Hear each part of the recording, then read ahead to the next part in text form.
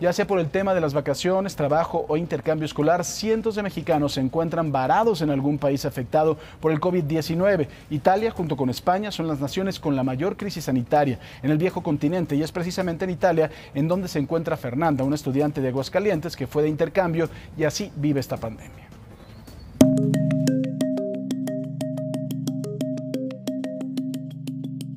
Y el hecho de saber que, las cosas están que nuestra familia está lejos, o sea, al inicio sí nos costó, pero lo bueno es que no, no, nos apoyamos aquí.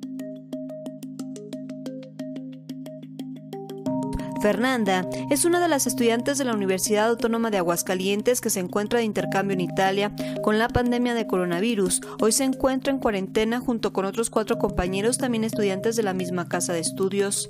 Ahora ya empezamos clases en línea, entonces ya estamos un poco más entretenidos.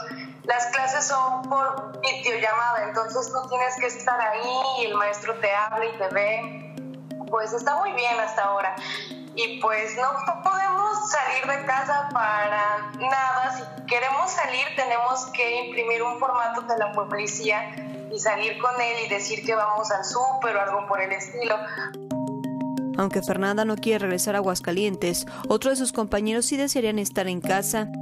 Yo personalmente no, porque yo creo que esto va, va a pasar y si ya estamos aquí, pues vamos a sobrevivir esto.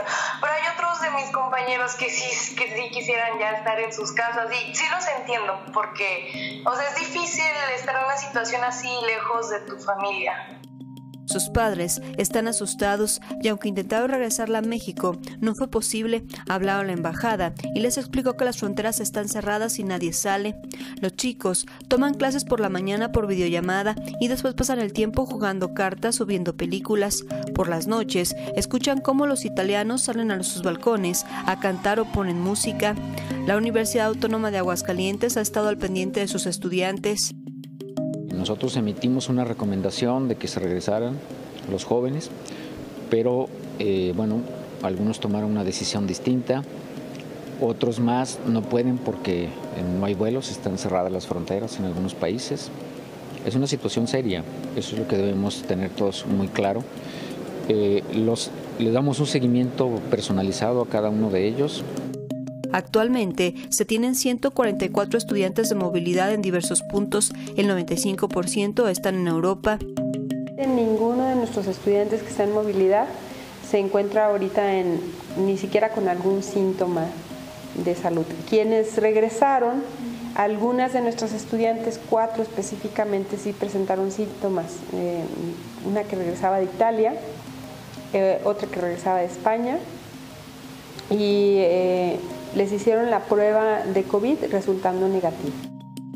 La directora informó que otros 32 estudiantes regresaron a Aguascalientes desde mediados de febrero, principios de marzo, pero porque ya habían terminado su periodo de movilidad, quienes estuvieron en aislamiento. Para imagen, Carla Méndez.